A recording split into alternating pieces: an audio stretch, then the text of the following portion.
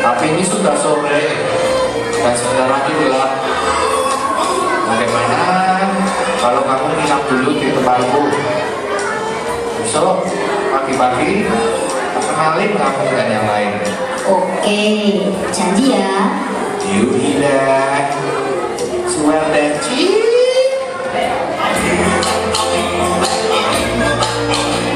Ciki sangat senang mendapatkan teman baru.